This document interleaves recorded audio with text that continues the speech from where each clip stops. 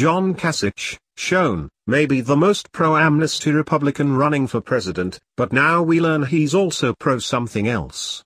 Having men in women's bathrooms and boys showering with girls. This is apparently the case as the Ohio governor recently stated he wouldn't have signed the recent North Carolina bathroom bill. While being interviewed by CBS Face the Nation host John Dickerson on Sunday, Kasich said he opposed the law out of concerns about LGBT discrimination, as WND.com put it. Yet the law, known as House Bill 2, HB 2, was a defensive measure, designed to preserve a common-sense status quo, and enacted in response to a radical Charlotte City ordinance. As North Carolina Lieutenant Governor Dan Forest explained, the giant loophole they created was that this ordinance would then allow any person to enter any bathroom at any time, reported WND. He continued, a man can enter a women's bathroom, a women's locker room, a shower facility. They could enter a girl's bathroom, a girl's locker room. Yet it gets worse.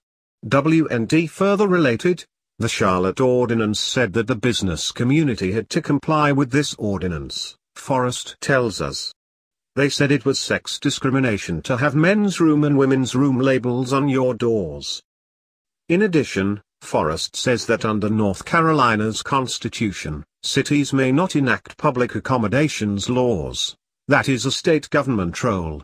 So the state's General Assembly remedied this overreach with HB 2, which dictates that whether at issue is a government school or agency, every multiple occupancy bathroom or changing facility, is, to be designated for and only used by persons based on their biological sex. Private businesses, of course, can still formulate their own bathroom policies. Thus, HB2 merely restores moral and social sanity and constitutionality.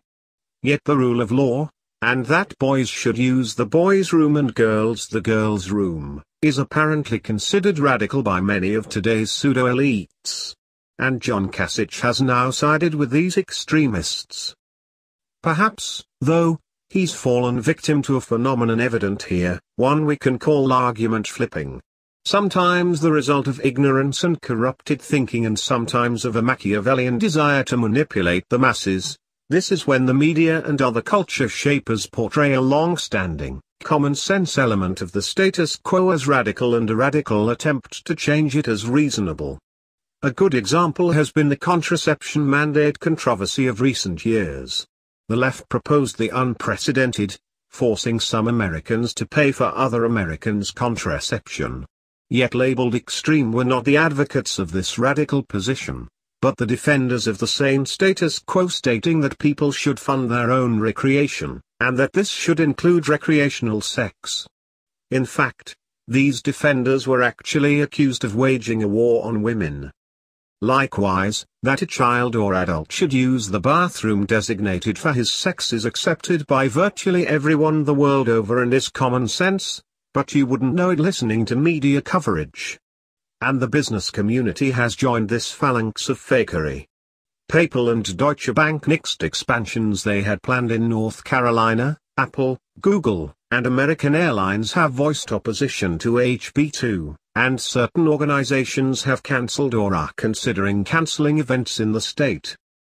So argument flipping can make radicalism appear the status quo. Yet this brings us to another point. Undisciplined, free association change has become such a tradition that anything opposing it, including tradition itself, can sometimes be viewed as an enemy of society. The result is pseudo-elites who consider altar boys more bizarre than altered boys. Speaking of which, there must be a really good reason for altering civilization to accommodate a self-altering 1% of the population, correct? What makes someone legitimately transgendered? We're told that such people suffer from gender dysphoria, although activists prefer it be declassified as a disorder and consider it normal variation, which is, we're told, intense distress induced by the sense that one's body is not consistent with the gender he feels he is. And what of the medical test used to diagnose it? It doesn't exist. There is no blood test for gender dysphoria, GD.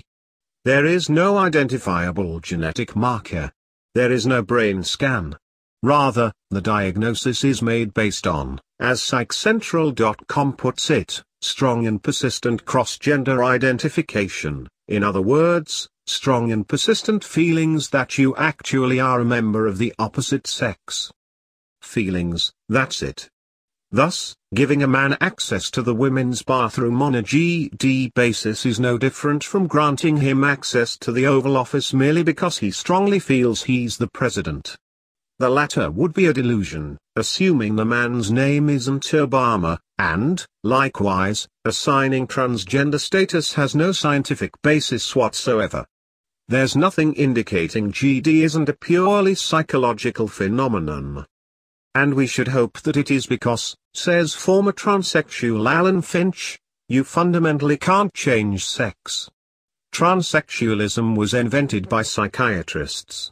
Giving surgery to someone desperate to change sex is a bit like offering liposuction to an anorexic. And it's only a civilization starved for truth that would address psychological problems by creating social problems, as it puts boys who fancy they have girls inside of them inside girls' locker rooms. As for these problems, Lieutenant Giff Forest points out that the state had multiple calls from women who had been sexually abused in a bathroom and who were literally traumatized by the idea of men being allowed in their facilities. Of course, many poo-poo these concerns, but whatever transgender people may or may not do, transgender policies are an avenue of opportunity for sexual predators. For just as someone willing to commit murder won't bat an eye at obtaining an illegal gun, someone willing to commit sexual assault may not flinch at masquerading as transgendered. Moreover, given that this issue is defined by feelings and that the transgendered are never forced to justify theirs, why should the majority have to justify theirs? Must the desires of 9 out of 10 people be subordinated to those of one person in 100? If the answer is yes, then we have finally identified the truly privileged one